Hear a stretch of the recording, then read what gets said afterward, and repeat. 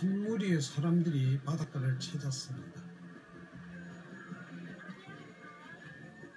아는 얼굴들도 상당수 눈에 띄네요. 도대체 뭘 하려는 걸까요?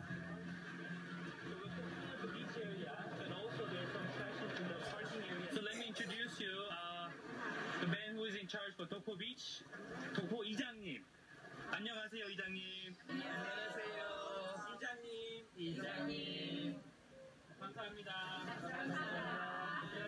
우리 그 애국분들이 우리 마을에 와가지고 이 환경 정확하게 해준다는 게 정말 그 동네 체험들라서 정말 여러분들에게 감사하다는 말씀을 드립니다.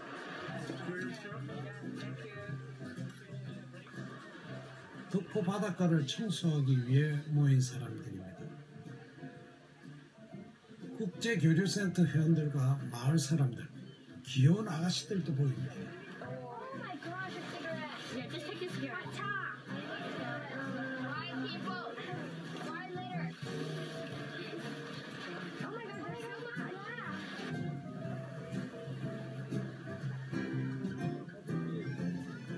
great. Yeah. I'm by the seaside, so I'm feeling good.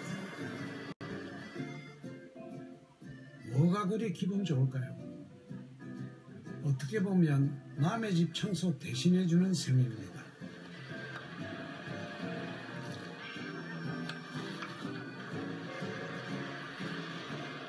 Oh, sorry. That's okay. It was me. I wasn't looking for a